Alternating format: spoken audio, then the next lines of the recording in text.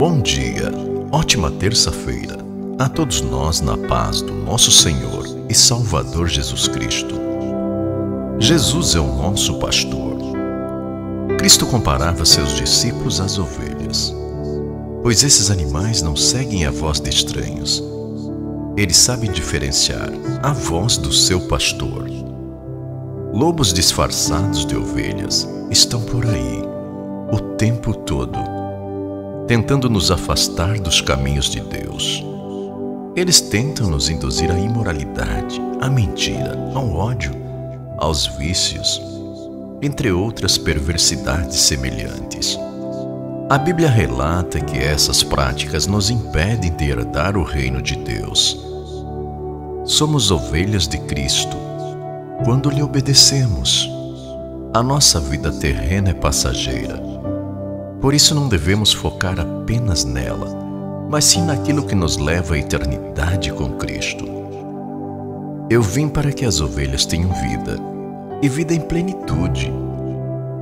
Senhor Jesus, que é o motivo e a razão de toda transfiguração, transforme nossas vidas não permitas que continuemos sonolentos, lentos, sem perceber, sentir a Sua divindade, divinizando hoje de nossas vidas.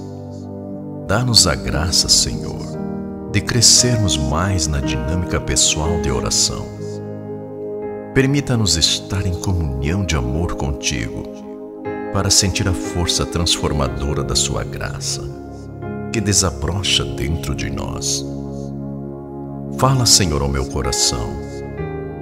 Dou ao Senhor total liberdade para agir em minha existência. Minha vida seja sempre reflexo da Sua transfiguração. Regenera-me com Sua misericórdia e com seu perdão, e Sua luz resplandecente brilhe dentro de mim e através dela, fazendo-me feliz, alegre, otimista, entusiasta Transfigura, Jesus, a minha vida e faze-me brilhar pela santidade. Dá-me a graça de entender que minha maior vocação é a de ser transformado pelo seu infinito amor. Deus no comando, permanente e eternamente. Amém.